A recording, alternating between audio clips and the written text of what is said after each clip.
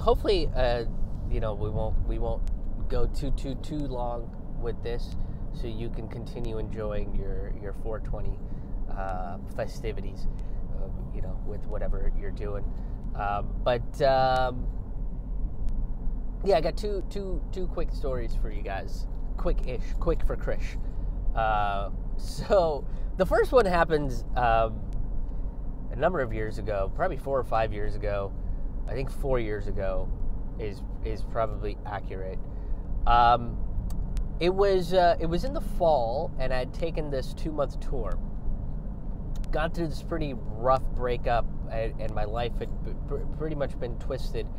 Um, a, a friend of mine was letting me stay with him um, very kind of him in Washington, D.C. And I basically decided that I got to go on this tour for two months. So I went on, on tour for, I think, longer than that. I think I went for like almost three months uh, on the road. But I, I left in uh, the middle of August. I didn't come back until almost the, the end of uh, November. Like the week of Thanksgiving is when I really came back. Um, so that's what, August, September, October, November. Oh yeah, uh, uh, August, September, August to September, September, October. So about three months, something like that, right? Okay, long ass tour. In the midst of this tour, I was down south, Gulf Coast area, and I was in, I was uh, go- going through Alabama, uh, you know, doing some shows in uh, Huntsville, Montgomery, um, and then Mobile. Now, when I was in Mobile, I was couch surfing with a with with a uh, with a cat. Super super. This guy was great he was awesome. He was really fun to hang out with, uh, and I'll describe that situation in, in, in just a minute here. But uh, you know, I basically had to extend my stay with him because, um, well, there was a hurricane happening, and uh, and I had some gigs in Florida, and I had to cancel these gigs because there was a hurricane happening. And the what was kind of wild was, uh, first of all, the gigs were like one of them was basically at like this white supremacist biker bar uh, in, in, in like uh, in Florida, and I was gonna go feature doing my style of comedy, right? This sort of lefty, socialist, like, hey, let's get along with each other. Here's the problem with uh, machismo and imperialism kind of comedy. You know, the anti-imperialism, radical, fucking left-wing, socialist, hippie commune comedy. perfect for the the the uh, the white supremacist biker bar. and the booker was like, "Hey, the headline I was to feature, right? I was I was to do 25 to 30 minutes, uh, which I'm sure was to go just swell, just great." And um, and I remember the booker was like, "Hey, the headliner's not going to be able to make it. Do you want a headline?" And I was like, "Oh man." Um, first of all, I want I, I don't have no guarantees that even if this wasn't a white supremacist biker bar, that I'm gonna get out of this fucking place alive. And now you add an hurricane on top of that, there's almost a guarantee that I'm not going to. So I had to kind of wiggle my way around to be like, this seems like a real bad idea. And then, like, literally 15 minutes after I said that, she was like, uh, yeah, you're probably right. Um, gas just went up to four 450 a gallon or something and she's like i don't want you to get caught in florida and not be able to continue the rest of the way on your tour and i was like okay so we canceled the gigs and i had to extend my stay in mobile alabama so um, staying uh, with this with this fella uh, he lives about 20 minutes outside mobile and he lives sort of uh, in in the in the sticks in the boonies a little bit nothing too scary or anything. You know, a nice, uh, uh, nice little house. Um, what one maybe like a mobile, not a mobile home. It wasn't really a mobile home, um, but it was a, it was a, you know nice open field, uh, open front yard, open backyard, and um, I pull up and I park my car, and as I park my car, I see this pig run to the fence and start blinking at me. I was just like, what is happening? And I see this like bigger hog fucking waddle over, and then there's a dog that comes up, and I was like, this is crazy. What is happening right now? And he comes out and he greets me, and you know, uh, he's like, this one's a younger pig. Uh, the younger pig gets very excited. Uh, the older hog ain't gonna do anything. They act like dogs. So if you let them sniff, sniff you and kind of uh, get to know you a little bit, they will chill out and uh, you know, and then they'll hang out with you. I was like, sure, man, that's fine. That seems that seems like, you know, that seems fine. And I, you know, the pigs smell me, and I uh, pet them, and they're very. I mean, they have fur. You know, if you've never pet a pig before, uh, they do have fur. Uh, the older pig was a little bit more bristly than the younger one was. The younger one was a little softer, uh, but they were fucking adorable. They were great. Hanging out with these pigs, these adorable fucking hogs and shit. It was great. It was awesome. So you know, I told him what was going on. He was like, "Yeah, you can, you know, crash the extra." Uh, two or three days before you have to make your way to uh, uh, Louisiana or whatever. So I was like, all right. Uh, so we had that taken care of. I felt pretty good about it. Um, and uh, so uh, I do my show in Mobile. Show was weird. Uh, that was the first time somebody yelled "Roll Tide" at me. Uh, yeah, I had never heard that particular uh, terminology before um, until until that day, and I was just like, "What? What's happening?" Uh, so I got to learn what roll tide was. And then over the weekend, he was like, Well, I'm having uh, some folks come over and we're going to have like a little dinner party and partake in some uh, in some festivities. I was like, Sure, man, uh, that sounds fun. I got I got nothing going on till till I got to leave on Monday. So you know, let's do it. Let's let's let's let's have let's have a good time. You know. So we roll in. Um, you know, and uh, uh, the comic that set up the show in Mobile also pops over, uh, and uh, you know, I. Uh, I, eh, you know, eat some food. It was a good time, and then they were like, "Hey, we're gonna partake in some herbs," uh, and I was like, "Okay." And they pull out a bottle, that and and then they pull out a second bottle and duct tape it and they essentially make this thing called what what is what uh, some people might uh, refer to as a gravity bong uh, i had never done one of those before i'm also not big on smoking not i don't, I don't really um, it's just not it's just not something that i do very often it makes me sleepy is usually what it does i get pretty tired pretty quickly um, I'm not. Um, yeah, I don't. I don't. I'm not like a fun person to be around in that situation. uh, I'm, I'm like hyper for about 15 minutes, and then it's just like bedtime.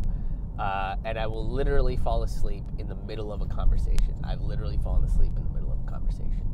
So, um, you know, I was like, all right, I'll try this thing. You know, we'll see. We'll see what happens. I've never done this before, I, I will be uh, careful.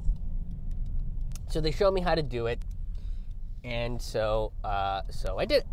I did that. Uh, I did the whole thing. I just you know took the whole rush of it, and I started coughing immediately, and uh, and it didn't stop uh, for like a I, I want to say a good five minutes. Like my my abs hurt from coughing that hard and uh, it, and then like immediately after I stopped coughing, um, I um, I was like immediately just fucking way too ripped, like way too ripped, and I didn't know what to do. Like I'm just kind of like holy shit, and then they they wanted me to like take another hit and I don't I don't think I could at that point. Like physically, I just couldn't. Um, so I I might have taken another. I don't remember if I took a second swig or not. I felt like I shouldn't, so I think I probably stopped. But I was just like, and then it and then it was one of those highs that just kept getting higher and higher, and I was just like, what the fuck is going? Like, what am I doing? Um, you know, kind of that. It was it was kind of like that situation and uh, so I had to step outside. And I stepped outside for a minute. And uh, I'm just kind of standing outside. I'm listening to uh, to the rain because it was raining, and I'm listening to the rain kind of hit the tin roof, and I was just like, "Holy shit, this is crazy!" I could I, like I'm, I, I felt like I was seeing the fucking like sound. Uh, like I was like I, I felt like I was seeing the sound vibrations of the rain hitting the tin, and the fucking hogs come over to me, and the older one, you know, kind of comes, plops down, and he looks at me, and I and then I, I look back at him, and I was like, yeah, man, I know, like I'm I'm way too fucking high right now. Like this is crazy, this is nuts. Uh, and then the little like the little one uh, big, and he'd been very friendly with me and would come up and like I'd pet him and stuff. And I was just like, holy shit, I don't know if I can be around these hogs right now. And then I also, and then I got real self conscious because I was like, I'm pretty sure these fucking pigs know I'm high, man. And uh, I, I, I don't know if they're judging me, but I'm getting a judgy vibe. Like I'm getting a real judgy vibe from these hogs, you know? Like these hogs are like, man, you did not understand what this fucking gravity bong was gonna do. You misinterpreted it, uh, and you fucked up. You fucked up, buddy. You know, you just you just didn't do it right. And I felt real judged.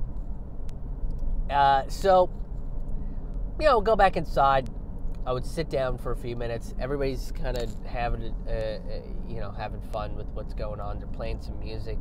Uh, threw on some old Jimi Hendrix, um, which boy, I don't think I've heard Jimi Hendrix in a long time. Uh, that's a, a, weird aside there for the moment. But uh, I remember talking to the comic who would come over to hang out. I remember talking to him, and I remember saying like I could really feel the music. Can't you really feel the music? I really feel this music. And he was like, Yeah, man. Yeah, I bet you can't. Bet you're having a real good time. And I was like, I am.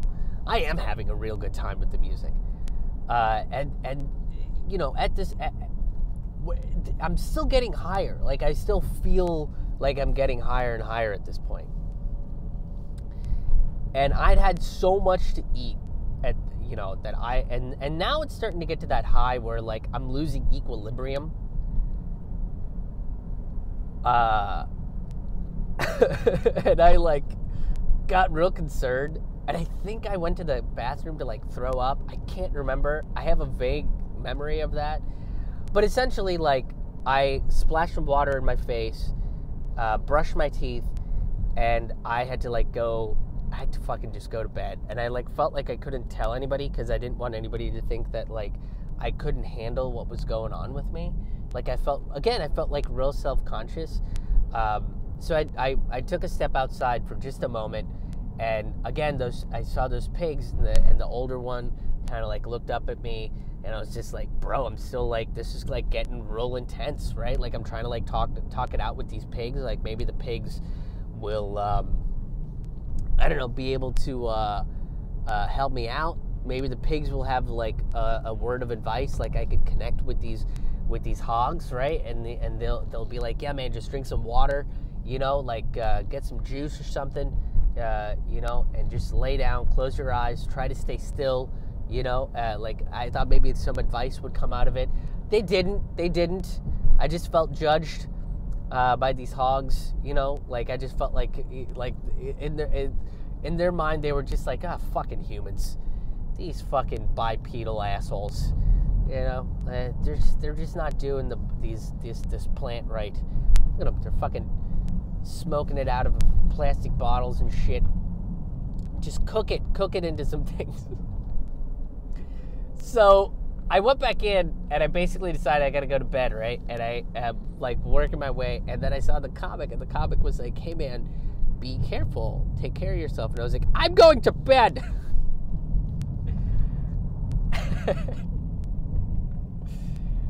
Uh, and so they were they were very nice about it. They were like, "Yeah, I think that's a good idea, buddy." And and they were basically like, "We'll see you soon." Like they were kind of like, you know, like you know how you like talk to a child um, that is that is clearly, you know, um, had like that that is that is like not ready to go to bed but needs to go to bed. Uh, they could kind of see like I was in that phase. They were, you know, they went to just pat me on the head, give me a little head tuffle there. And he was like, you know, take care of yourself, make sure you're gonna be okay. And I went to bed, and it was tough getting to sleep, to be honest. I just remember having a real hard time falling asleep because I just felt like I like I was still fucking getting higher, was like, this is fucking crazy. And I, and then it got to that point where I was like, I'm stuck like this. This is me forever. I don't think I'm getting out of this. Uh, you know, I was like, I gotta, I gotta just tighten the fucking sheets around my bed. And then I was like, I think these pants are too hot. So I slept in my boxers. Uh, I locked the door. I fucking just tightened the goddamn sheets around me. And I was like, if I constrain myself, I don't have pants, I'll be fine. And eventually I did fall asleep. I think I fell asleep for like 14 hours or something. Because uh, I don't remember getting up till about 12:30, 1 o'clock in the afternoon the following day. Um, it I mean, it was it was a while. Uh, and you know, I, I talked to I talked to the couch surfer, and they he, he, he was just he was very nice about it, but he kind of had to laugh about it. And of course, you have to fucking laugh about it, right? Like this is such a weird, goofy thing to happen to somebody. So he laughed about it, and he was like, "Yeah, it just sounds like you know you got a got a little too high. You know, it sounds like it sounds like you overdid it. You you went past your limit there. You know, so that was a good lesson to learn uh, in uh, understanding my limit."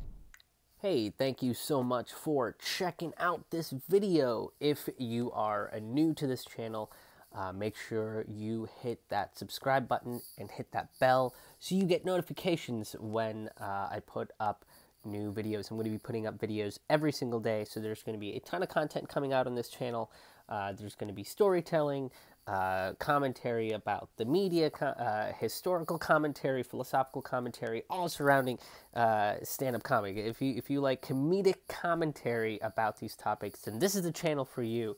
Uh, and if you uh, come to the channel often and you haven't subscribed, what, what what are you waiting for? What are you waiting for? Hit that subscribe button. Get get get subscribed to this. Come come hang out with us. but uh, for more information about me, you can go to my website uh, ramannoodlescomedy.com. That's R A M A N noodlescomedy.com. Uh, while you're there, you can check out all of my past stand up comedy albums, which, if you snag them from Bandcamp, are available as pay what you want, which means that they're uh, available for free. Uh, you can check out past videos, you can check out past podcasts, and uh, you can donate if you have the ability to make a one time donation or become a sustaining member. You can donate directly on my website and become a sustaining member directly on my website. And or you can see how you know the various different ways that you can make a donation. And you can also find out about live stand-up comedy events. Well live-ish stand-up comedy events. I'm going to be doing uh, a test show on zoom. Uh, tickets are available for that right now they are free and there's only 10 spots available this is going to be a test show to find out, you know, what format's going to work, if there are technical difficulties that I need to figure out, and then figuring out uh, what consistent day to try to do um, these Zoom shows. I'll probably do a couple of them uh, while we are uh, currently in the quarantine situation. So that is available. Uh, the tickets for that are available right now. There's only 10 spots available. Uh, so make sure that you grab them um, before they're all gone. And then once we decide the date for the first official live ish stand up comedy Zoom show, the virtual stand up comedy show, uh, there will be um, about 15 tickets available for the first one. Uh, and then we'll we'll go from there and we'll see see what happens from there. Uh, so grab those tickets and come hang out with us uh, on the Zoom. Uh, like I said, Make sure that you're subscribed. Make sure that you hit that like. Make sure that you share this out. Get the word out about these videos. And, uh, and you can go to my website to find out more stuff. Uh, till the next video, take it easy.